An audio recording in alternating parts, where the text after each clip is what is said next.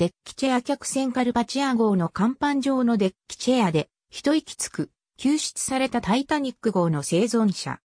当時の豪華客船のデッキチェアの背中部分には、その椅子を専用に使う乗客の名札が取り付けられていたのがわかるデッキチェアとは、折りたたむことのできる椅子の一種。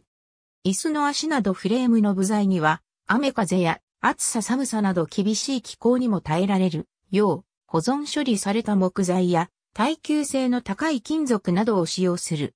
座面や背もたれは木の部材でできているものもあるが、現在の多くのデッキチェアでは一枚の布でできており、キャンバス地やビニールなどが使われる。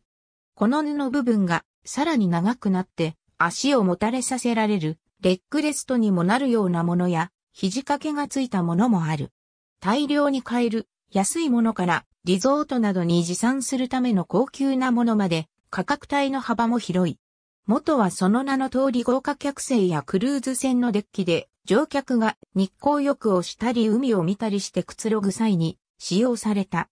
軽くて運びやすく積み上げることもできたので船上の利用には最適だった。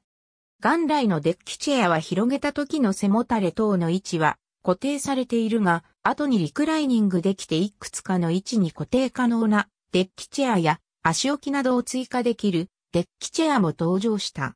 現在は庭やプールサイドや浜辺などレジャーの場で広く活用される。ホテルのプールなどでデッキチェアやビーチチェアの数が宿泊客より足りないような場合にはタオルなどをかけて場所取りをすることもある。かつての豪華客船ではデッキチェアを毎日使用する乗客のために、乗組員がデッキチェアに乗客の名前を書いたタグを取り付け、空いていても他の乗客が使わないようにするということも行われていた。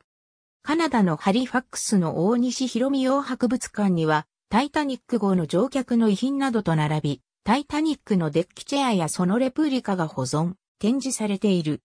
英語には大きな変化が起こっている最中に些細で無意味な仕事をする例えとしてタイタニックのデッキチェアを並べ替えるという表現もある。ありがとうございます。